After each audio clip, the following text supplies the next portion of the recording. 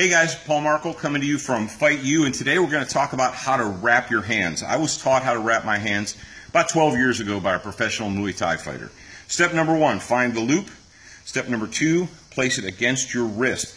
Now you want to go twice around the wrist, once, twice, then twice around the fist, once, twice, then start alternating. It's good to have long wraps so you can wrap between your fingers I'm going to go ahead and wrap between my index and my middle finger, between my middle finger and my ring finger. Then I'm going to put some padding over the top. Make sure that you never uh, wrap more than twice in the same spot because if you do, it'll slide off of itself.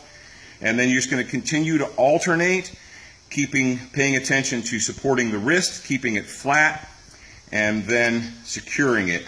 After we've done that, we'll go ahead and stick our hand in a glove, start punching bags.